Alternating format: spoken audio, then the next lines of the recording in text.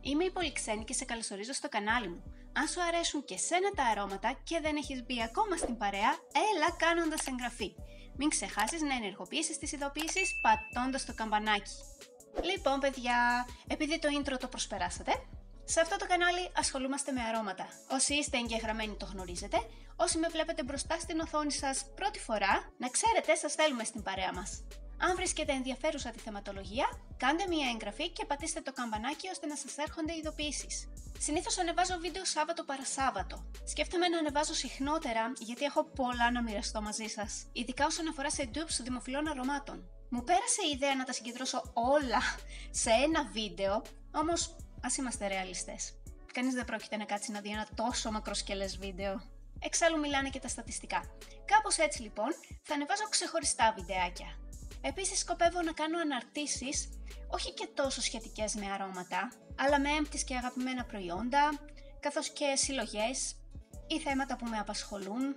Τώρα που το σκέφτομαι, και αυτά έχουν κάποια σχέση με μυρωδιές.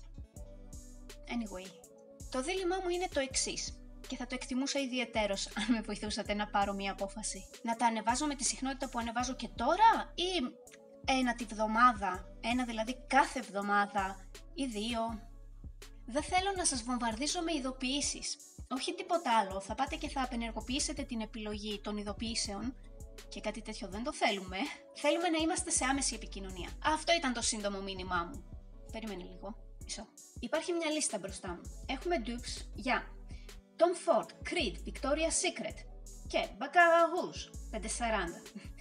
Good Girl, Hypnotic Poison, C, C Fiori, Jasmine Noir, Anjou de Mont, Bonbon, Νίνα, αμόρ αμόρ, love the Missai. Είναι αρκετά και δεν τα έχω δοκιμάσει όλα. Πάντως για κάποια απορώ γιατί δεν ακούγονται. Έκανα μεγάλη έρευνα, η οποία δεν έχει τελειώσει. Θα σας περιμένω κάτω στα σχόλια. Ελπίζω να με βοηθήσετε με τους προβληματισμούς μου. Αυτά.